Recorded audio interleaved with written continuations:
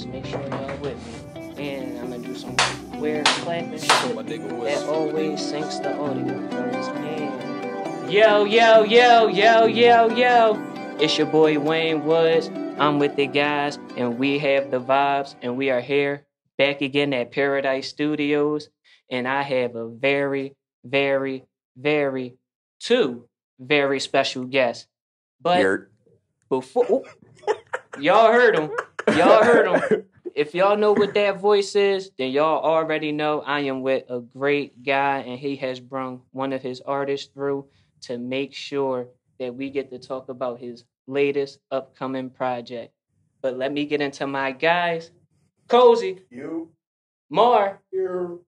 I am with my guys and they are ready to hold me down. But like I said, we are here with Riley and Moses. Moses. Let's go,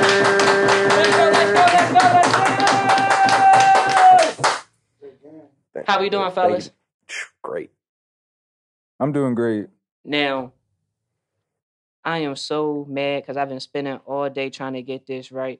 We got Moses Mosima. You got it. You got it perfectly. Perfect, perfect, perfect, perfect, perfect. It was worth the time. You got it. Let's do it, let's do it, let's do it, let's do it one time for me. Because we were walking out if it was wrong. Ooh, I was ready, bro. I got my car pulled up on the block.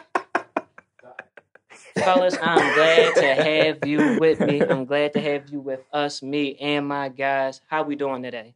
Great, man. Blessed, man. Very blessed. We dropped downpour tonight, a few hours Just ago. dropped that video out now. I know this this will be a little delayed, but the day this was shot, downpour dropped a now few you know how hours it feels ago. when they go on TV, right? You Right. It's all right. They can edit it. Can- But once again, I'm so glad to have you guys with us. Um, I've been tapped in with you guys for quite, quite, quite some time. I'm Hey, not sure if you. you know. I've been following you on Twitter for some time. Thank you. Uh, I've recently just tapped in with you, but uh, like I said, I've been watching the things that you guys have been doing, and you have been nothing.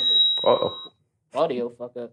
You have been nothing but perfect. I feel like, fellas, you've been hitting all angles, TikTok platforms, uh, social media, Instagram, Twitter, everything. I see you literally Thank you. everywhere. Thank you. That means a lot because this is difficult. Yeah. let's speak to it early on, fellas. Uh, you as an artist, you as the manager that's pushing everything to get it going. What's it like being able to create this content, get it out? Is it exhausting? Is it tiring? What's the vibes? Yeah, to both. It's it's very much a labor of love. Like I think if we didn't love it, you know, it probably would have been too too much of a headache to even finish. But you know, because it comes from a real place, like that's how we always find the drive to do it. Yes, sir. Yeah. Yeah. I mean, man, it's it's a as he said, a labor of love, and it just turns into like you got to put in as much effort as you want to see the results. So the harder you're willing to go and sacrifice and whatever that means, the more results you're going to see in the path you choose. Yes, sir. So like it it's tough and it, it's draining. It turns into your entire life. Like once this turns full time, and then if you are also trying to manage a full time job, things like that, like life gets very tough, very tough. Now,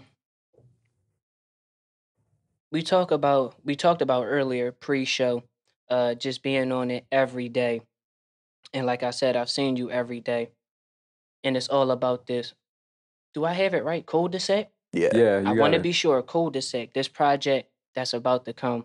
Um, I'm pretty sure it's going to be a heater. Oh, it is. I mean, We've been working on it for a long time. It's like probably like a two, maybe three year process that we've we've put into making this. It's a, it's an experience. Now, let's talk about being hands on with this experience. I see you're creating videos, we renting U-Hauls, we doing all types of things. I, I didn't just hear the conversation. I literally seen all these things happen on Instagram. I who's coming up with the thought process? Is this you telling him what's in his you telling him what's in your head and we just bouncing ideas around? Who's the creative genius? Is this just perfect chemistry? What's the I- what's That the one. behind it? That What's one. behind it? yeah, perfect that- chemistry. That's that's Yes, a pretty sir. good way to summarize it. Like it, it's really like our our collective mindset kind of just We do. Me and Riley, we do a lot of brainstorming. We, We'll just we sit there for with hours. ideas and just talk. Like I feel like that's that's something that's so underrated in the process of an artist. Like being able to just exchange ideas and, and refine them with other artists. And this guy is a he's a manager, but he's also an artist himself. His vision Not music. as a oh, director. I've Not been yet. getting so many Not yet. surprises. I may have said something I getting can't so say many yet. but- surprises. Oh, I've we been got getting we got so many surprises. surprises. Yeah. So many surprises. Yeah. That would have been a, that would have been one for the books. I'm telling you. we dropping it here tonight. What if we told you the rollout was for Riley of HBC? Yo. I, that'd fuck me up. All the directing the videos, that that would Oh, have fucked me up. Yeah, last minute type of thing. But yeah, man, it's really about um making the best out of what you have. Right? Like a, a, a lot of the the process behind these videos and, and a lot of what this project became was out of necessity. yeah. It's rare that you have everything that you need. So, you know, we did everything we could with what we had. Yeah, and you see us renting trailers and building rain Yes, sir. machines and all of that, but the reality of that is that renting that trailer costs under fifty dollars for the day.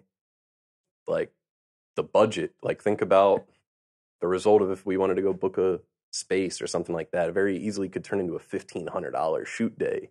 Easily, Easily, yeah. Yes, sir. if not more. I know the vibes. And we've done that too. it was really just a matter of like, oh man, like how do we do the most with the least and still make it dope? And that was where we just focused. The real focus was camera quality. Yes, sir. So like we used the Blackmagic. That's our secret. sir. There's our there's our secret. I saw you ask about it on Twitter. Who got a Blackmagic? Who got a motherfucking Blackmagic? Now, did you have to go out buy one, return the motherfucker after you used it, or did somebody come in the clutch? Uh no, uh our friend Jabari Rogers, uh, Yes, sir. his his ad is at Wolves Food.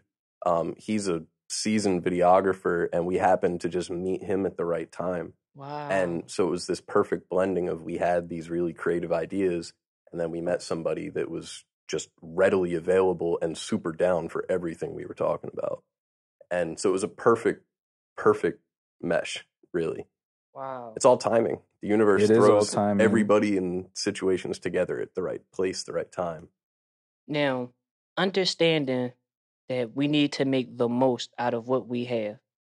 When the idea came across that says, hey, I'm Riley and I'm going to start doing the videos. Because he's been doing the videos and the content for a while. This is not something that's new. From the rib. You have been elevating your game, Thank you. and that's what's new. Absolutely. I've been paying attention. When things first started, and Riley's like, yo, I'm doing the content. What's the thoughts of as an artist? Are you really looking, yo, bro, I'm thinking we gonna hire him and hire that. What's the mindset of, yo, I got you. Well, you know, it for for for it to become what it has today, we've gone through a lot of iterations of trying to figure out the formula, finding the right people. I think that has been the part we've learned from the most, but the part that's also cost us the most, the part that's given us the most headache. Yeah. But it was necessary, you know. We needed to, um, just like we were talking about earlier, YouTube University. You know what I mean? Like, for as much as you reach out to others, you also need to invest that same energy in yourself. Yes, sir. And I think we had to grow individually as people, as artists, to be able to get to the point where we trusted ourselves enough to execute the vision. Because it wasn't always that, you know? When you're first starting out, like, you believe in your vision, but you don't always believe in your capability to execute it. And I think part of what we did with the cul-de-sac rollout over these past couple years is really sharpen those knives, like sharpen that skill set, how to do the rollout, how to do the videos, you know, because also the more that you learn personally, the easier it is to work with others. That's what that's another important thing that I've learned. You really have to know what you want when you collaborate with something. Artists, you know, don't let the collaborator decide what it's going to be, you know? The the cosign, the name isn't what makes it a great product. It's your collective vision together Mm, and you being able to to elaborate that that's a skill in and of itself you know being able to um, articulate. articulate your your vision one thing that was really helpful for us is we started getting into writing down treatments Yeah. Mm. yeah That was huge. really like systemizing our process figuring out like how to really capitalize on our time because one of the hardest things shooting a video when you don't have a vision or you don't have like at least an itinerary for the day is keeping track of the time Yeah. it's really easy to lose a lot of time. Same thing with recording in the studio. Like it's really all about intention. The better you understand what you're trying to do, the easier it is to elaborate your vision. I want to say you are speaking right to me, right to me. It's hitting here. Um, very often I try to find what's the right balance between, uh, do I want to pay this guy? Do I want to do it myself? Am I capable? I mean, you see, I edit the podcast, so yes, I have the equipment. We have these thoughts, and sometimes we just need to execute. My great friend Eli said, "We know what we need to do." We Mhm. often know what we do. More than likely, we know what we need to do. It's just about actually getting to it. Now, one thing that I want to get to, Riley, my good friend, Yes, sir. not only are you hands on with this artist, but you're hands on with multiple artists, uh, artists of all kinds. Yeah. Uh, how is it having this patience? We we said this is not an easy process. This is every day, and it's every day with multiple people. Yeah. uh, for those out here trying to do the same thing you're doing, uh, getting into the same endeavors that you're doing, uh, can you just speak to them? What can they do to, you know, enhance their daily activities? What can they do to uh, put their focus in the right uh, activities? Uh, there's so many answers to this, but I would think the simple one and the one that would make the most sense is to focus on your mental health. Because if you're not right in the head, you can't do anything. How how would I be able to help any of them in any type of way if my mind wasn't right? So that's a big focus of it all. Is like you just got to keep your own mind sane enough that you can continue to move through this. This is a tough industry. It's hard to stay sane through it. And I, I guess like what I would justify as sane is probably not to, people that are normal, regular working class people. Like it's an unusual level of stress, but that's it. It's really just the management of your own mind. And if you can keep yourself level, because when you're working with other people, there's always going to be some kind of monkey wrench thrown in. Like there's going to be something that you're going to trip over that's another person's problem. So you got to make sure that your own problems are good enough that you can even handle that somebody else's issues. That's the hardest part. Now, you said it with such swiftness, with such class, Thank you. but is it that easy? No, hell no. hell no, it's not easy. That's the hardest part. what does a day of running around for you two looks like getting done? There's a lot of things it first. could be. Um, it really depends like what mode we're in. Like right now, let's say- you know what? Let's say about a month ago, preparing to roll all of this stuff out, as we're right in the beginning, because we've been at it for a while. Now that is the preparation has just finished. Now it's time to put it out there. What's the day like? What, are we getting up? Are we having breakfast? Talking about what we posting? What it's looking like? Well, recently, a lot of our time has been centered around shooting these videos for the Yeah. project. And so it's been a lot of like late slash early phone calls to really cement the ideas before we even get the camera out. That's so important with with Yeah. with shooting videos, like really, really understanding not only like what am I shooting, but what am I saying. That comes through in a way that like people don't always realize. Like the more you understand what you're trying to say, the easier it is to express it. But a lot of planning. Um, usually we, we try to start pretty early with like getting to set and getting everything set up. But you know, but that that's mostly what it's been. A lot of editing sessions as well, just kind of sitting down, looking at what we shot and trying to figure out how to make it into, you know, that idea in our head. Yeah. Now That's- turning up with the video editor so quickly. Uh how long have you been at this? I mean, you just got the camera. well access to the camera. So are you like shoot? That's only with that camera. Like I've been shooting videos. I started at like eleven or twelve years old, and on a, on a handheld camera, like a cassette camera, which I Mm. actually use. I use now to shoot videos. Like if you see any of the footage in some of our other videos, looks like old, like that, like VHS style looking footage. It's on that first camera I ever touched. Mm. So I started on my grandmom's camera shooting skate videos with my friends and then slowly just kind of moved up and always was editing. And so since yeah, since I was 11, 12 years old, I was always shooting and editing. And then so my skills just got sharp and now I just have the right tools. So like up until this year I shot everything with my phone, a GoPro, and that camera, the VHS camera. So and that was all the videos you saw up until this year. I'm you even talking about promo vids like uh yeah. when you uh got the power drill and onto the Oh yeah, that was shot on my phone. what's the, the That was- toilet thing? You that was shot on this toilet phone thing. right Yeah, here. bathroom. Yeah, shout out to Obi and who's Lord smoking in the bathroom out now. Yes, sir. Um, but yeah, it was all of that was shot on my phone, really. And then so like I got when I did it, I bought like it was the ten or the the X Max whatever iPhone. but at the time, like two years ago, whatever was at the top, and I was like, all right, I'm gonna buy this because it's 4K. And like any other camera that's like a thousand dollars that's 4K isn't that good, but an iPhone is crazy, and the stabilization is nuts. So I just went with that, and then I just took myself down to bare bones, like made it as difficult as possible quality wise. So I had to make it my editing nice. Now with cul-de-sac and like different was the first video we shot with the Blackmagic, and then I just got to work with all of this high quality footage where I've already honed my skills with with with nothing. Exactly. Now, speaking on cul-de-sac, you have to be one of our first R&B acts on our platform. Hey. Honored. Give it up, give it up, give it up.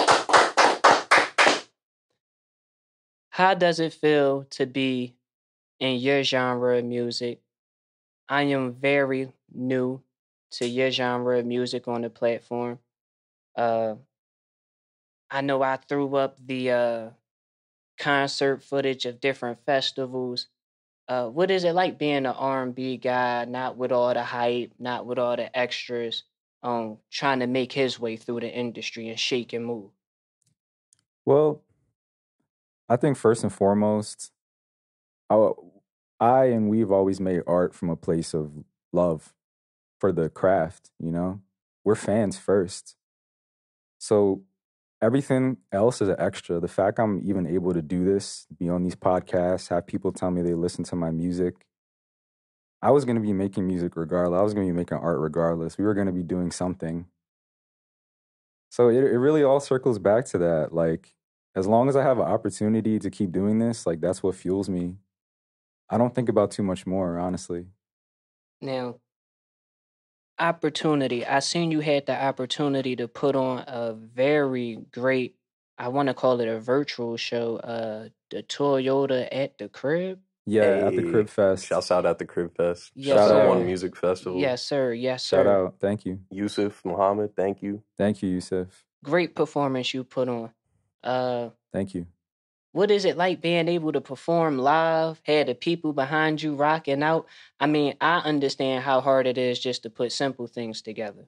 Um, but to be able to have a complete show, multiple camera angles, like you said, you make music out of love, and the universe returns love to you. How did you feel Mm. in that moment performing? I, it was it was beautiful, man. It was a very vindicating moment. Um, you know, because we do put so much of ourselves into this, like financially, time wise, energy wise. Like, it is really nice to to have opportunities like that that we've always dreamed of, and I think it is precisely because people recognize that we do do this from a place of love. Um, it all comes full circle. So the only reason I was able to pull that off is because of like how long we've been working together and how we've like the same way Riley was saying, refine his skills as a director, we've refined our skills as a team as well in being able to execute stuff like this. The things that we're doing now, we're only doing because we're capable of it. Um, something I always say to him is like, you know, when things, you know, there there have been times where we've had opportunities we didn't necessarily feel ready for in the moment, but I always just try and tell him something that was told to me that's been helpful. Like, you wouldn't have the opportunity if you weren't ready for it.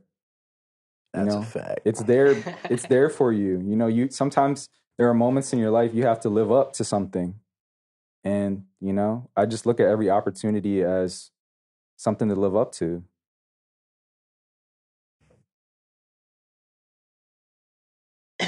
dropping gems tonight. Yes, sir. yes, sir.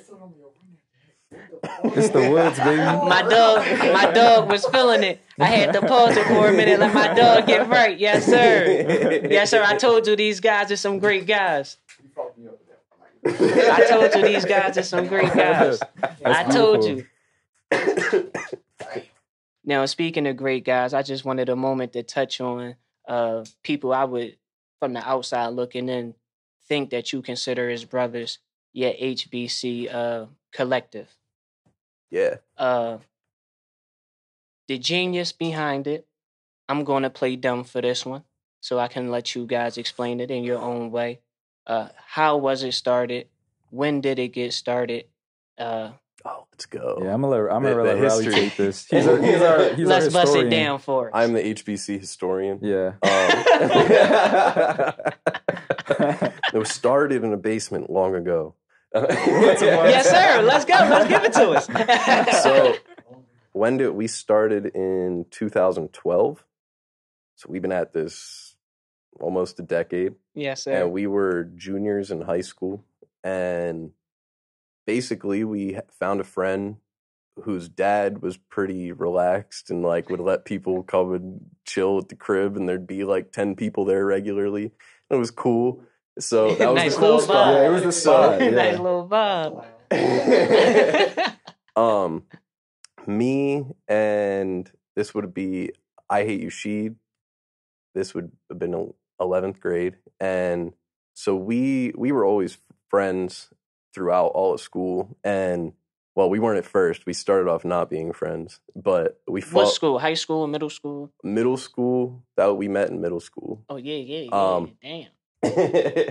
yeah, it go we're we go back far, but um, so basically, we went to watch the throne, uh, here in Philly, and we were front row. Got to shake Kanye's hand. Hey. Sheed rap with Hove. Like it was crazy, and from that moment, it was like we got to get into this industry.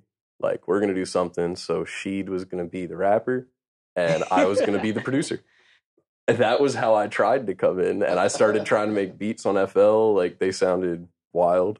And Were they trap? They- were they? Were they? uh, what, what, what were they? What's yeah. the genre? Would you? kind of, You might gotta run this back, man. I gotta hear some of the those beats. first beat I made was I took uh, Kanye when he cut off Taylor Swift.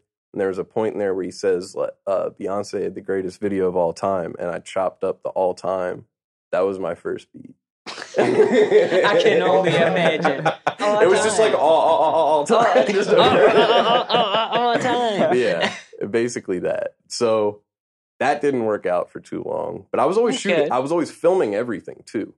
And then we met uh, Wobie, and Wobie, we met Wobie. Sheed looked at him and said, "You look like you rap." And he was like, I do.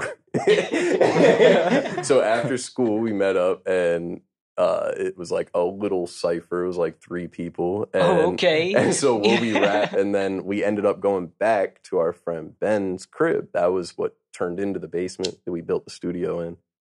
And that pretty much was it. Because him and Moses had been rapping and making music for years since they were early. Yeah, we met school. we met in middle school, and it funny, funny enough, like uh, how Sheed said that Wobie looked like he rapped. The first time, true story, first time I saw this guy, this was middle school. He was wearing a "Got Rap" T-shirt. I'm not sure if that was why. but I never forgot that. I probably had the same thought. But yeah, we, we all go way back. HBC is really it's really a family. Oh man. so from there, we really just started all. So that was 11th grade. We started doing like weird shows at like Voltage Lounge, fucking Afton. Fuck you, Afton.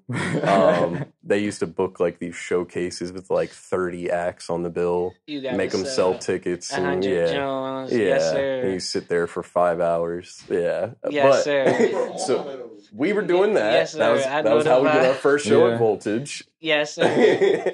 You live and And you learn. so we were doing that. We were always making music. Like all of our like stuff that's on a lot of it's on like Sheed's SoundCloud page. Like a lot of our early stuff is on there. Um, but yeah, we basically just started making records in this basement. Turned a little like uh, closet into a booth, and then set up a desk next to it with some speakers and a computer. Started recording, and then we all graduated high school, and they uh Wobie and Moses, they ended up going to New York to St. John's. Yeah. Right. St. John's University. Damn, congratulations. Yeah. Yeah. we We didn't finish though, and that's and that was but we went. pivotal Facts. pivotal We to were the smart story. enough to No, make that it, it was definitely Fuck them. Well, it you was you know what I definitely mean. pivotal to the story, yeah. Um, and then me and another member of HBC Gomez moved out to Cali. And then Sheed went to school. I don't remember exactly where he went. And basically, we all went to school. And I did. I didn't, but I went. I went and worked. and then oh, it was like 2015. We were all like, "Fuck this shit." And so they would be two years into school. I'm two years Yeah. into living in Cali, and like, fuck. All right, yeah, fuck it. I'm moving back. And then just decided to really put a stamp in. We moved into our friend, same person who had the original basement then. he was now going to Drexel yes, and sir. so we all moved into his studio, one bedroom apartment, did the same shit, all the same equipment was still around. this, is, Mobbing. this is 2015. Then we just got back to work. Everybody came back and then kept getting kicked out of houses like for a few years until we got our own. And then we've had our own house that we turned into a studio, media lab, screen printing, all of that. Our just turned a crib into a full creative warehouse basically since 2017. So yeah, it pretty much just came back to us all regrouping back in Philly and getting to work. And that's been what everybody has been able to see. Oh man. Yeah. Can we give it up for the Thank you. Thank you. Some Facts. Facts. Facts. Oh man. It was to do the dream, man. Uh, that's it. It was meant to be. Yeah. It was meant to be. Now, in my notes I had, I was going to ask, well, what made you join? But clearly, y'all Illuminati. Now that people know. Now, I'm going to talk about this downpour video. Bet. Uh, first and foremost, we're going to get you just your whole vibe of it. Just listening to your music, that is my vibe. A lot of people Thank who you. know my music know that I I really get into that vibe. Um, what was just your whole vision behind uh the song? Uh, what was the vibes like in the stew? Was you with your guys? Was it like a party in there? What was the vibe? Yeah, so really that song specifically, um it, it comes actually from a from a breakup. Mm. Yeah, so like listening to that song, funny enough, like it, it actually brings back a lot of memories for me. Um, it was a difficult time in my life, and like I was just, I had so much pent up at that time. You know, I had been working on songs for the project, I had a lot of ideas. I was feeling really stuck, not only with the music, but with life. And I, I just said to myself, like, I need something to wash all this away. And like the idea just came to me of like a downpour like what is i need a respite just something to just take me out of this um god knows i've been waiting on a downpour to wash my pain away and it is a, it's a cathartic song. It's a song about you know finding that release that you need when you're going through something difficult. And I, you know, I, I I think my goal was that the song was to hopefully help someone that was feeling the same things I felt when I was writing it. That's that's really my goal with a lot of the music. Like, I, I feel like when I first started, like I think a lot of us as artists, we start out very like aspirationally. We look at like our favorite artists and try to make something just like that. But you reach a point where you've been doing what you're doing long enough that you just start speaking through the craft. Whatever you're going through at that time, you know, whatever experiences that need to be spoken that you can't speak on in your real life come out through the music. So Downpour was a really cathartic song in that way. And with the video, we kind of just tried to capture the, the the vibe and the feeling of the song. Like he was saying, like we we learned a lot. We via YouTube University, we learned how to build how to build a, a rain machine. And I was oh, going to was ask fun. you, yeah, how is it when a song like that with clearly so much emotional attachment, uh, you create, and then you have somebody like your brother who goes the extra mile and helps you build a whole ring machine just so we can pull off the aesthetics. Yeah. We clearly talked about family, but of course, just let us know how was it just seeing the end result and just being able to look at your guys, look at your brothers, and knowing you had a support fully. Just what's the feeling?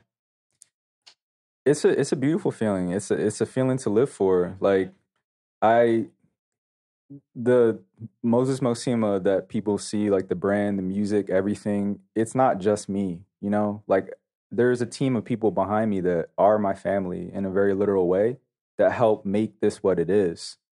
And so, you know, the downpour video wouldn't be a thing. Cul-de-sac wouldn't be a thing. It's we are all byproduct of our influences and the people that are in our lives. Like they say that you're you're like the byproduct of the five people you spend the most time with. And in that way, we've all sharpened each other's skills and and help each other become the artists that we are and what we do.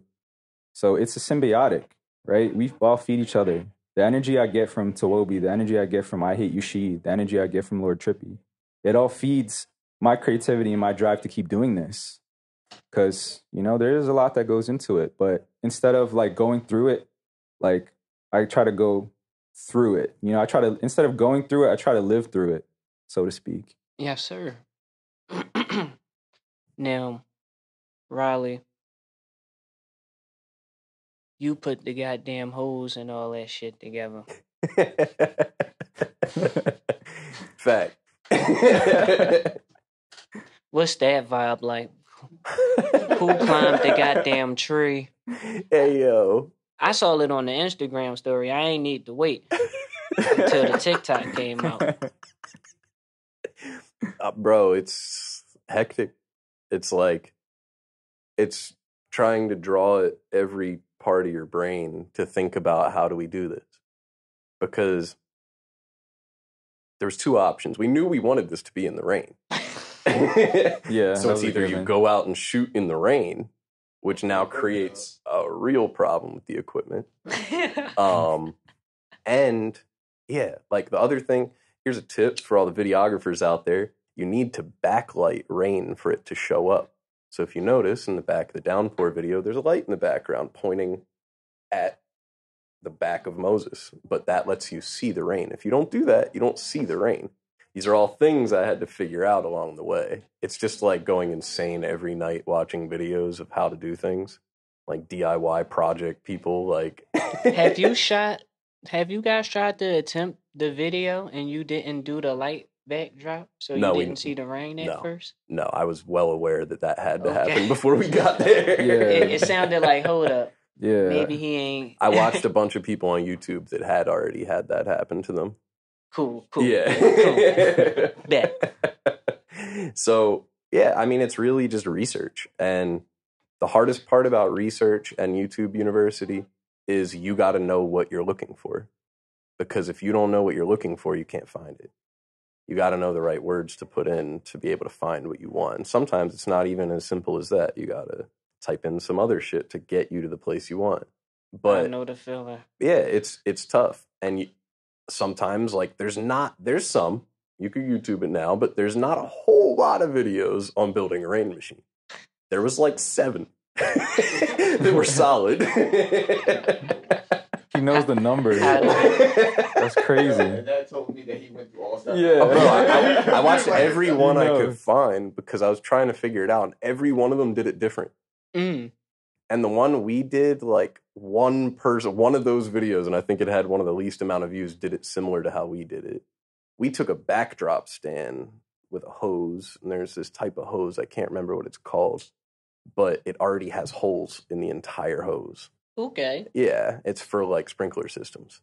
But I was gonna ask you who got the hose and the no, hose, 'cause bro, we, like we were about of- to. We were about to. Yeah, that's we a were whole sure ready to do that. situation. That what's crazy is that whole shoot was probably like two and a half hours, Hey, which isn't that long compared to and probably an hour of it was setting it up. And I didn't even know how I was going to set it up till I got there. It get like that. And I was just like, okay, I'm going to connect this backdrop stand to the tree with a zip tie, and I'm going to run this hose into the tree with zip ties, and that's how it's going to stay up. And then boom, that was it. Yeah, we- they really MacGyver the shit out of that video. Sometimes it's luck too, like because I didn't know if, it could have went absolutely left, and it would have just been a waste of a night. I going into it, that's what I expected. I was like, we're gonna shoot something, but I don't know if it's gonna be what I wanted. Shoot. we gonna get it in tonight. I didn't know if it was gonna work. Yeah, I didn't know, but it did. Sometimes you just get pleasantly surprised by your preparation. Now, I have a very important question because I'm a podcast man and it's my job to be a little bit update with what's going on in our industry here. What happened to the HBC podcast? Oh man, hit Big Dan. We're bringing them back. I mean, COVID happened, and Oh, we, we shot like everything and recorded at Rec Philly, and Rec was closed. Excuse me, was closed for a lot of time there, and that just kind of messed up the rhythm Okay. of doing it. So we're gonna get back to it. I, I can't wait because I love doing this. Like I love doing podcasts. It's one of my favorite mediums because you get to get so much of a message out. You get to really talk about things in depth. Yes, sir. Yeah, it's Now, unfiltered. one thing we got to talk about a little in depth is your hit record different? Hey. Nobody said that before. It looked like it took you for a minute. Hit record different. yeah, Yeah. yeah. It's it's it's it's still kind of new to me, as you can tell. Yeah, that it's funny. Like some like sometimes we try and we do so much trying to figure out like what the formula is for success and how things are supposed to work out. But you know, a lot of the times, like they take you by surprise, and I really feel like that's how it was with different yeah. uh, like like he was saying, like the first time we shot with the with the Blackmagic and with Jabari, like we didn't know we didn't have expectations of that song doing to we didn't have expectations of uh, of it to do what it did. We kind of just executed and turned out better than we thought. We thought, you know, you know, we like this. This is dope. That's always the the the most important thing first. And everything else that happened was a byproduct of that.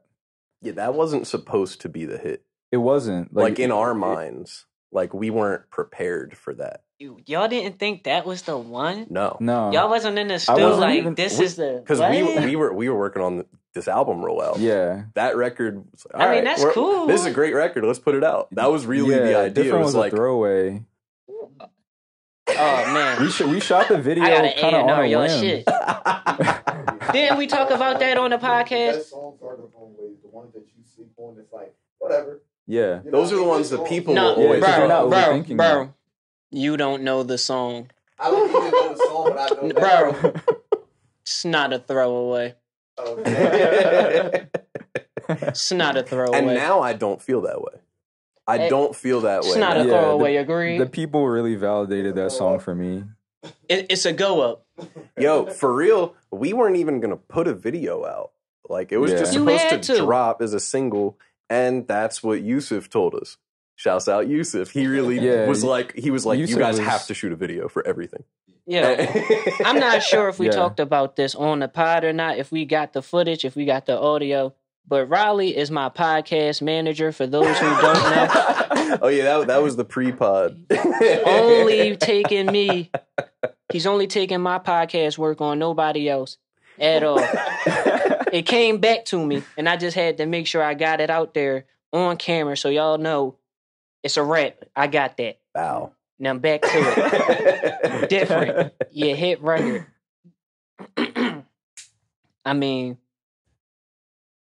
I now know what it takes. It's like everything correlated from the video. The video sounded like the song, and the video is a visual. Like when I see the visual, it it gave me everything the song was supposed to be. That's beautiful.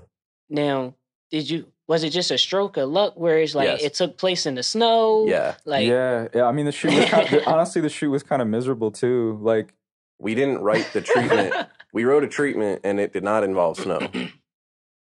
yeah, all. okay. It just snowed. I and we like- shot that video like a week before the song came out. And it was this has to come out with the song.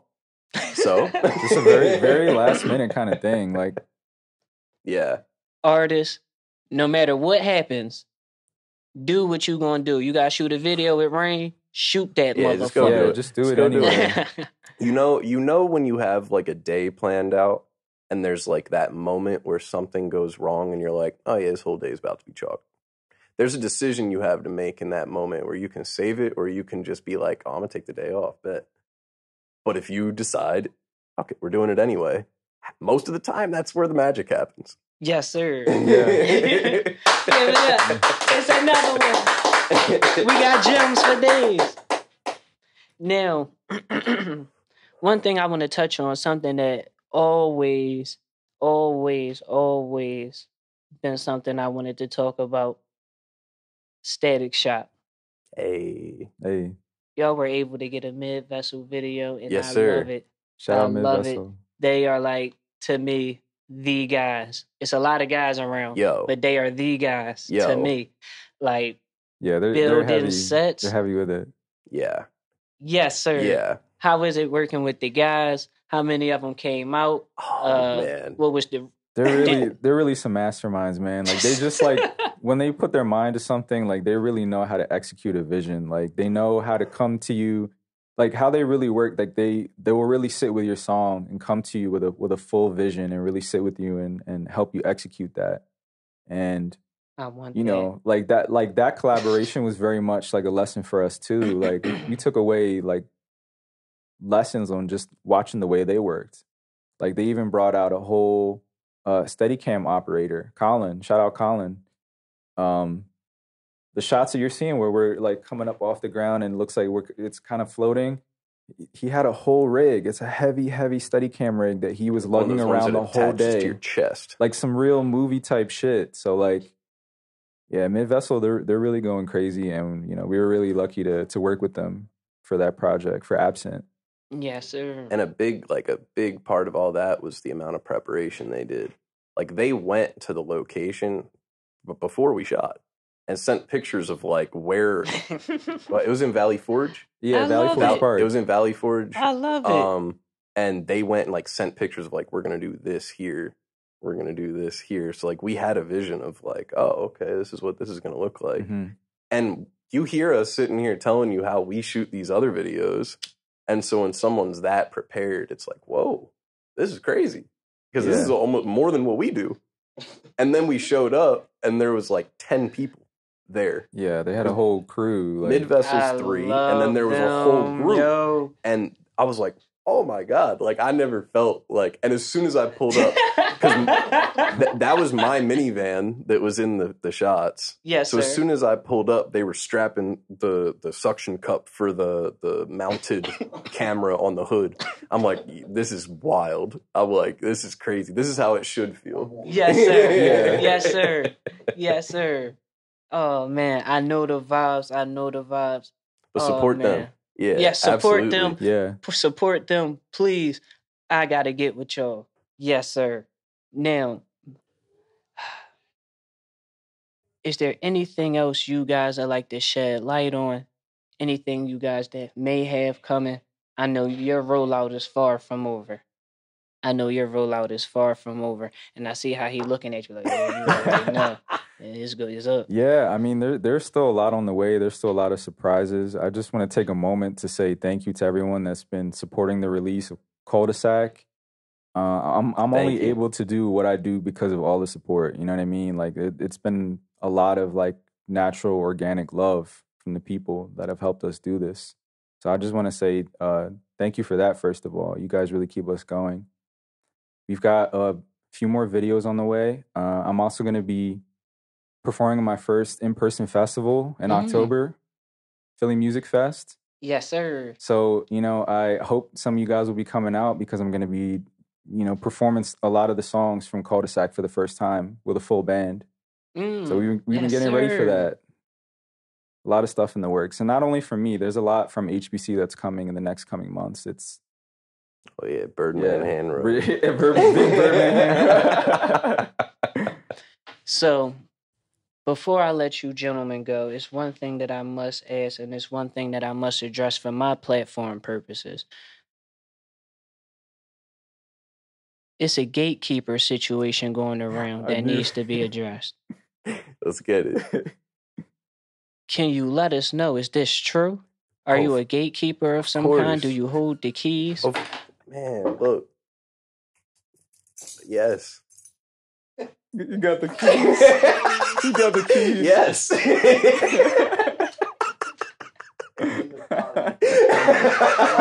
One more, just cut it off. Yes. And just for the audio purposes, Mar, Cozy, I thank you guys. I appreciate you guys. The support is amazing. I thank you guys. I thank you guys for uh, supporting the platform. Wait, real quick before we head out. Yes, sir. I do one more shout out. yes, sir. Of course. Shouts out Paradise.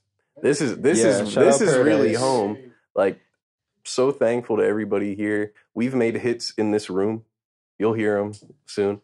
Um, but we made it like we made like close to 100 records in this building. Like we've done a lot of work in this building and so like being here doing this podcast like it just feels like being at home.